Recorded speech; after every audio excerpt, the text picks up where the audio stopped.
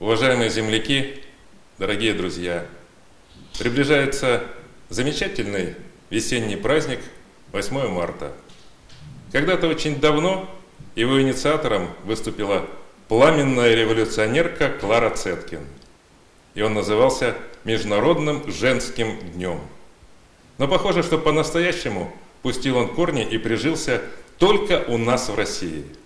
И, по-моему, это яркое свидетельство того, как мы любим наших женщин, как мы ими гордимся, как восхищаемся. Наши женщины самые лучшие в мире. Они у нас самые красивые, самые обаятельные, самые привлекательные. Я обращаюсь к мужчинам Миасского городского округа. Дарите женщинам цветы, подарки, улыбки. Носите их на руках. И не только 8 марта, а купится старицу, поверьте мне. Я обращаюсь к женщинам.